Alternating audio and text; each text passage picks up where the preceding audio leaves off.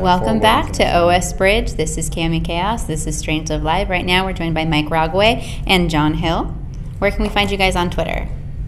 At Hill John G. At Hill John G. At Rogoway. Rogoway, can you spell it for them? R O G O W A Y.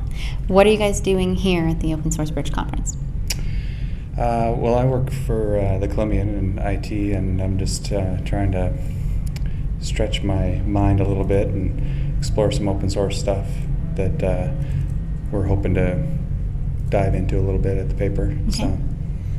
As for me, I, I'm a tech writer, though personally I'm non-technical. Uh, Almost all these sessions are over my head, uh, except So for maybe the the tech mayor's interviewer? keynote.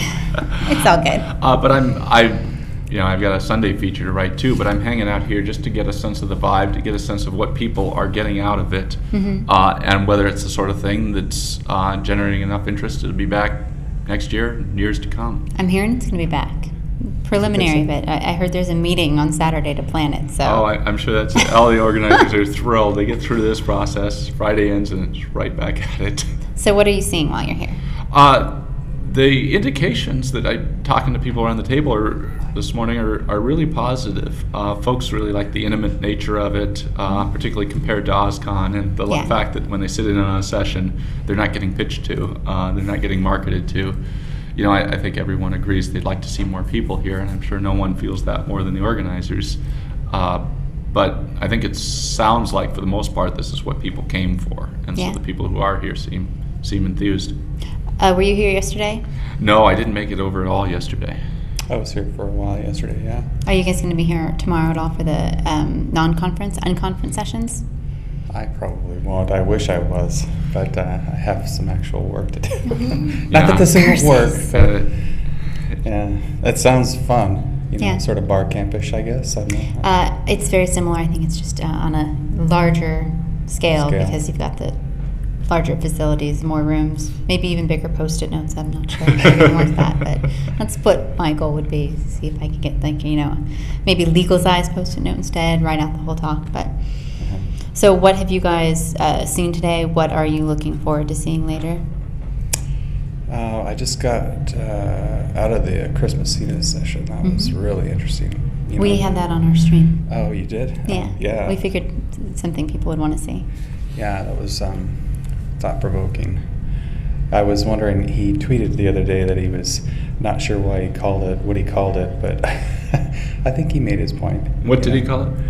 Oh, something about supermarkets and how to fight the. Oh, it was uh, gosh. social supermarkets, Yeah. and someone give me the last part of the. I know there was something about celery in the talk, but that's not in the title. Social network supermarkets and how to defeat them. Social to network defeat them, that's supermarkets and how to defeat them. All right, I want to ask you guys a little bit about something that we've talked with a few other people on our show about, um, but it's newspapers transitioning into the digital age. How's that working for you? It, it's the, the yin and the yang. Uh, I think it's no secret newspapers are having trouble figuring out how to present themselves online. The flip side, though, is as a reporting tool, uh, the digital age is fantastic. Uh, you know, the number of people that I can talk to in a day, even if I spend all day at a place like this, even if I didn't have a story to write, I might have meaningful conversations with a half dozen or a dozen people.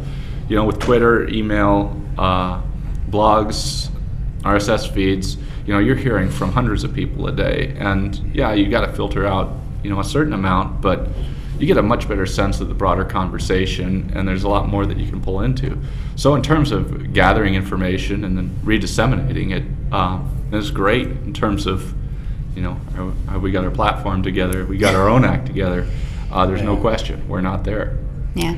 Yeah, I'm really fascinated with the uh, leveraging newspapers' um, position in their marketplace. You know, their their brand or whatever you want to call it, and Mhm.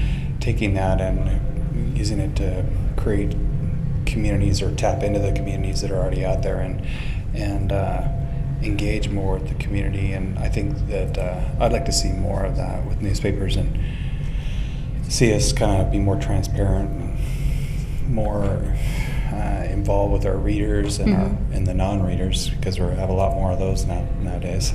It's uh, interesting to have your perspective because we've had a few people from the Oregonian on to talk about it, but they've all been on on the newspaper side of things, and you're in the IT side of things. You're in the project management, and you're trying to get things done behind the scenes.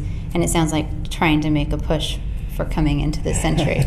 yeah, we're uh, you know a lot of times IT departments uh, can some hold companies back, and Mhm. uh, where I am, I'm lucky enough to where we have a pretty forward-thinking staff, so we're always trying to think of ways that we can push things. And actually, I think it's interesting because we're almost it's sort of almost the opposite where I work. Yeah. We're uh, pushing constantly, going, you know, hey, let's look at this, let's do that, and um, the, one of our big barriers is uh, money, the monetizing it, of course. I think it's a big barrier for most everything in the world. Ninety-five percent of the revenue still comes from print, Yeah. and so you don't want to ignore your core too much. You're, you, you know, robbing Peter to pay Paul kind of thing. Yeah. Um, so if we could figure that one out, we'd be.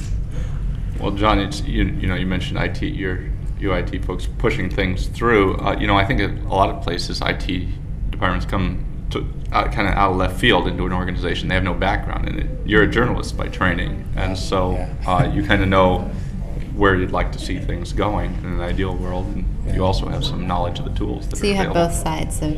Yeah, I used to work in the newsroom, and actually, uh, some disclosure here. Mike and I used to. He used to work at the Columbian, and uh, we worked together in the newsroom. So, uh, yeah, we Insider were. knowledge. yeah, you know, and I, I, but by the same token, I really like uh, something Mike did recently with your. Uh, you did a, like a live chat that Yeah. I sat in on, and uh, I, I, I joined on one of them. You've done two. Right. Yeah. yeah. Oh, you, you did another. I, I did a second one on the VC scene after that, which we tried to moderate a little bit. This is, as you talk about trying to figure things out. You know, the first one, I was the only panelist on there, and so you know, I just said, hey, I, my thinking was, well, there'd probably be half dozen people interested, and let's just let them have their say. And in the hour we were there, we had you know 400 people, 400 comments. There were Yeah. fewer than 400 people, probably a tenth of that or something, but. Uh, and so that was a real eye opener that, hey, there's enormous appetite for this.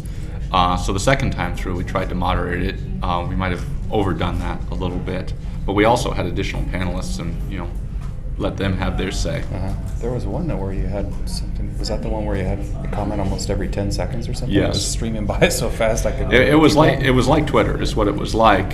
Um, but you know, it's, it's harder to have a structured conversation that way. I mean, Yeah. let- let's bring in 400 people and put them around the microphones to see what happens. It, it, it was sort of like that. yeah, it was. I I was catch I during the beginning of it. I was able to keep up and read what was going on, and then by the end, I was like, "Oh, okay. I have no idea. I missed something up there and down But a- here." again, a, a cool Yeah. part of this A of this medium is, you know, a lot of what we do is online is ephemeral, but these conversations are saved. You know, you can go back to them, and Mhm. you know, newspapers are ephemeral. You put it in the recycling, it's gone.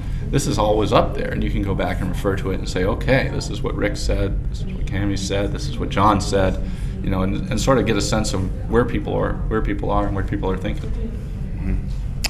Yeah, and that's great in terms of the. That's what's so great about the web. You can just a limitless store of information, whereas you know print. well, you, you know, you have microfiche. Fine. Yeah. They made me learn how to use the microfiche machine when I was a kid because you know they were sure that it was going to be a vital part of our world forever and ever and ever, and it's just funny, not so much anymore. Yeah, although then there's uh, what they're converting a lot of microfiche now to CD-ROM and stuff like that, or DVD or whatnot. They're putting it something shiny that you put in your computer. Yeah. right. But I was reading something about that a while ago. The I think it was the Library of Congress where they were really struggling with what formats to store things in because Right. you know, Eventually, will CD-ROMs for- will be gone. Yeah. Will that format be around? Will PDF be a, for, a format that you can open 20 years from now? At least with microfiche, if, if, if your magnifying glass is big enough, you can You still still read it. It's yeah. It's Uh, there's yeah something tactile there. I think didn't you guys talk with uh, Sean? Uh. I think it was last week. Last week, Yeah. yeah. Well, I was talking to him just yesterday about the process of digging up information on Paul Newman for his biography, and there's a lot of that still is digging Mm-hmm. Yeah. around. But it's a lot easier now that you know they'll print it out and send it to you rather than you having to be hunched over a machine. Really? Send to Machines. you. But you still have to know to look for it. You still have to know to ask for it. So Right. you've got to find that information somewhere. Well, I'm going to let you guys grab some lunch All right. before another session starts. It was really good to talk to you. to It's nice you. to meet you this morning. I, Pleasure I think I saw you. you at the Green Dragon before. It's nice to see you again. Nice to see you again. It's good talking to you guys. Again, uh, Twitter names just before you go, real quick. At Hill John G. At Hill John G and at Roger. At Rogoway, R O G O W A Y. All right. Thank you guys so much for joining us. Thank you.